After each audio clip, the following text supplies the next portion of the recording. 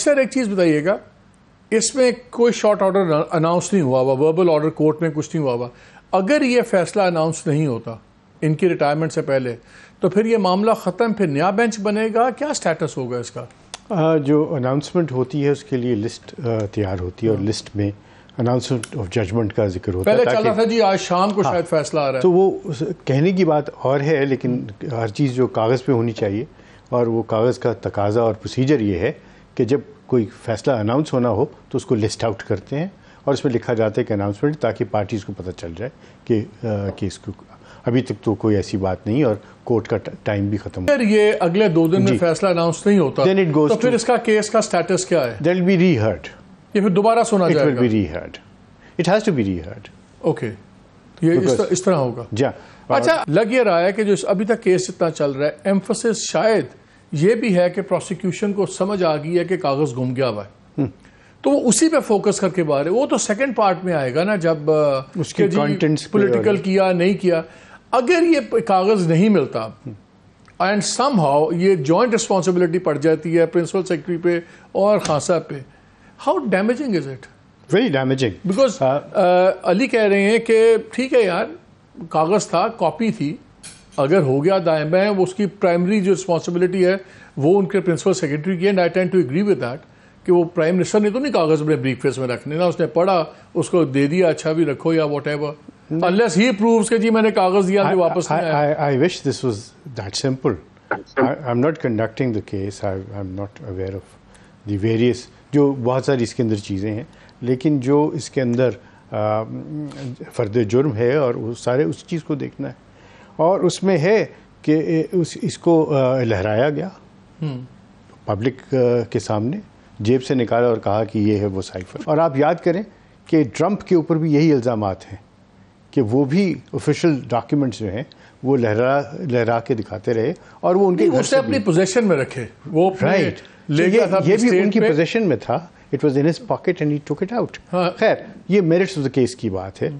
लेकिन जो सवाल बनता है इसके अंदर वो सवाल ये है कि क्या एक ऐसा डॉक्यूमेंट जिसके अंदर कोड्स हों उसको आप अपनी सीक्रेसी ऑफ़ द ऑफ़िस में से निकाल के अपने ओथ की वायलेशन करके क्योंकि ओथ में भी है कि जो कुछ भी आपके सामने लाया जाए आपकी ऑफिशियल कैपेसिटी में उसको आप पब्लिक में डिस्क्लोज नहीं करेंगे। ये ये आइन में लिखा है।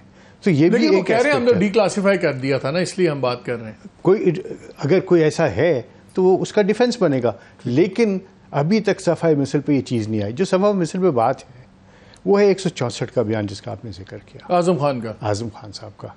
जो जो जो बताएँगे कि ये मेरी कस्टडी में अगर होना था तो वो कहाँ चला आज़म खान अब तक अरेस्टेड क्यों नहीं है? मतलब कि एक की बंदा है who is the missing link और आज उन्होंने ये वर्ड यूज़ किए हैं मिसिंग लिंक है।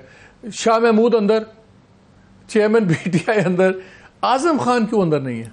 देखिए मैं बताऊँ आपको this is for the prosecution कि वो और ये ये एक जजमेंट है और नौ जजेस का फैसला है या सात जजेस का फैसला है कि प्रोसिक्यूशन की सवाबदीद है कि वो किसी को अरेस्ट करके अपने पास रखना चाहता है या उससे बेल जो जिसको बेल बॉन्ड्स कहते हैं उसको करें। और एक सौ चौंसठ का बयान जो है नहीं तो ये उसको वो एज अ विटनेस समन नहीं करवा सकते इनका। He will be he will have to be cross examined एक सौ चौंसठ का बयान ऐसे जो है मनोन नहीं आएगा बट ट्रायल की बात है मुझे समझाएँ कि इनकी तो हमदर्दी है ना मुझे समझ आता है इनका दिल दुखेगा भी तो अलीनी बात करेंगे।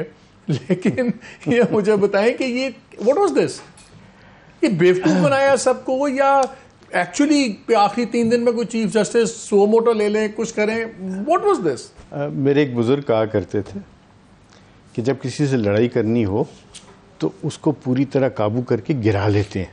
चुटकी नहीं काटते।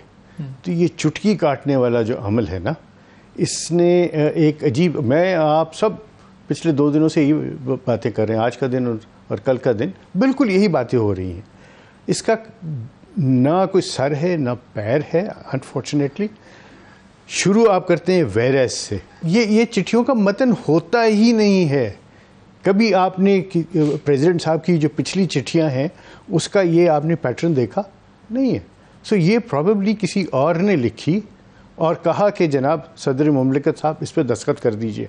और ये फरमाइशी चिट्ठी है, क्योंकि आप इसे, जो पहले सीक्वल इसका देखें, ये सीक्वल है, उसका जो ट्वीट किया, उसके बाद जो चिट्ठी आई पीटीआई की तरफ़ से, और फिर जो पैगाम रसानी हुई है सदर के और पीटीआई के चेयरमैन के दरमियान में। सो ये हिजान पैदा करने के लिए ये एक अजीब मखमसा सा सारा हो जाए। I think this is this is to towards that and क्योंकि इसका कोई ना सदर के पास इख्तियार है डायरेक्शन देने का। मानते जैसे हैं अली कह रहे हैं अली, मानते अली, हैं। अली कह रहे हैं कि इसमें एक सिल्वर लाइनिंग ये है कि एक चीज़ पे बड़ा एम्फोसिस आ गया है कि सदर और इलेक्शन कमीशन के दरमियान में एक बड़े इंपॉर्टेंट इशू पे डाइवर्जेंस ऑफ़ व्यूज़ है।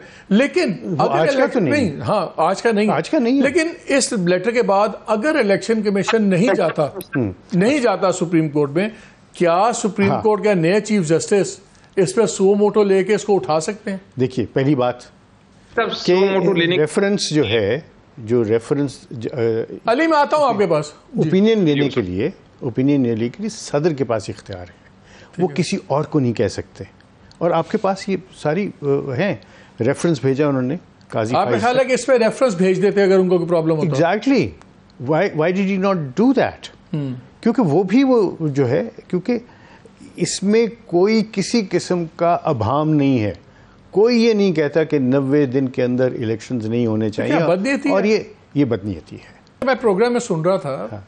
प्रॉब्ली मेहर का प्रोग्राम था वहाँ थे आप आपने ये बात उठाई थी शायद कि ये प्रोविंशियल की तो डेट दे ही नहीं सकते Exactly. तो ये फिर एक दिन की डेट दे नहीं सकते। नहीं दे सकते। और उनको पता है इस बात का और अली ज़फ़र साहब ने भी ये बात मानी है कि उस वो तारीखें तो गवर्नर्स ने देनी है। अब छोटी सी बात। एक गवर्नर साहब कहते हैं कि मेरे ख्याल में नौ नवंबर ठीक है। दूसरे कहते हैं नहीं नहीं नहीं नहीं। आठ ये आठ नहीं नहीं ये आठ दिसंबर होनी चाहिए। और तीसरे साहब कहते हैं कि मैं तो समझता हूँ कि जनवरी की पाँच तारीख होनी चाहिए। तो क्या ये कन्फ्यूज़न सब बढ़ नहीं या जाएगी within 90 days within तारीखें नाइन्टी डेज़ विद इन मुख्तलिफ़ नाइन्टी तारीखें डेज़ मुख्तलिफ़ तारीखें दे दें तो इससे कन्फ्यूज़न बढ़ नहीं जाएगी। इसीलिए सदर मुमलिकत ने सेंट दी उस लॉ को जिसमें ये सारी चीज़ें जो हैं तफवीज़ कर दी गई हैं। They been given to the election commission of Pakistan इसीलिए उन्होंने चिट्ठी भी इलेक्शन कमीशन ऑफ़ पाकिस्तान अच्छा जो अब वो टेक्निकली एक अबूरी सदर तो मैं नहीं कहूँगा लेकिन he is still the president जो नया आइंदा ये जो टाइम फ्रेम है क्या इसमें वही पावर्स हैं सदर की जो एज पाँच साल की मुद्दत तक थी? एब्सोल्युटली वही पावर्स है। देयर इज़ नो प्रॉब्लम उसमें कोई कोई नहीं है। उनकी I I see no problem there और इसी तरह जो चीफ मिनिस्टर्स सीसीआई में बैठे उनकी भी वही पावर्स हैं जो एक इलेक्टेड चीफ मिनिस्टर की। वो भी एक अभाम सा क्रिएट करने की हाँ वहाँ पे word chief minister chief minister है और ये नहीं है कि केयर टेकर का कोई तशखस को अलग है। एक और इंपॉर्टेंट एस्पेक्ट है इसमें।